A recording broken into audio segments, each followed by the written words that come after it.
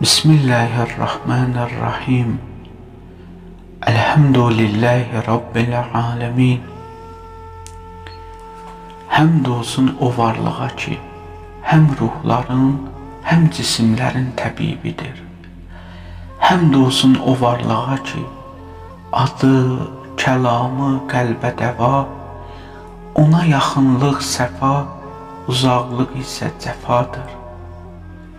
O elə bir varlıqdır ki, gözlər onu görməkdə, dillər isə vəsf etməkdə acizdir. O özün müqəddəs Quran-ı Kərimdə bu cür vəsf etmişdir. Leysə kəmislihi şey, yoxdur onun misli, tayı, bərabəri, bənzəri. Bu cür varlığın sevgisi bütün sevgilərin fövqündə durmalıdır.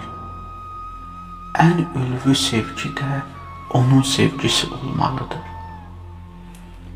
Bu sevgi insanın çirklənmiş ruhun paklandırıb, onun içində yaranan şiddətli nəfs istəklərinin qarşısını ala bilər. Necə ki, Mövlamız Əli İbn Əbi Talib buyurmuşdur, Allah sevgisi elə bir oddur ki, dəydiyi hər şeyi yandırıb kül edər. Yəni ürəkdəki nəfsani istəklərin qarşısını alar. Elə bir nurdur ki, harda olsa oranı nurani edər. Elə bir ilahi sudur ki, ondan içən mütləq dirilər. Hər bir insan özü özlüyündə Allah Taalanı sevdiyini düşünür.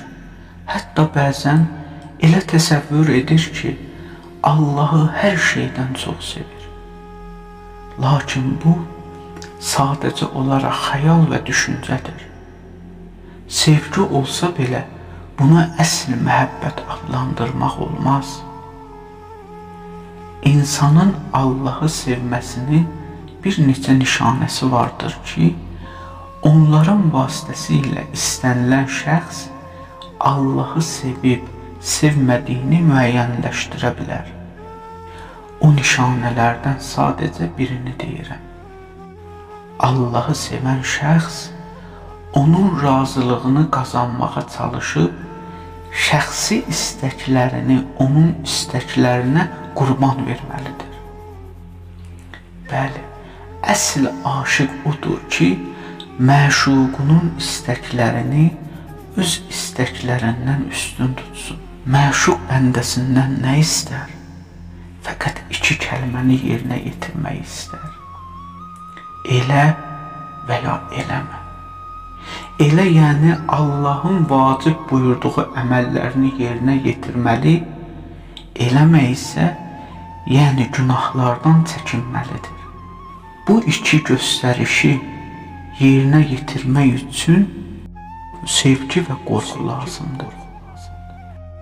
Və bunlar da bir quşun iki qanadına bənzəməlidir.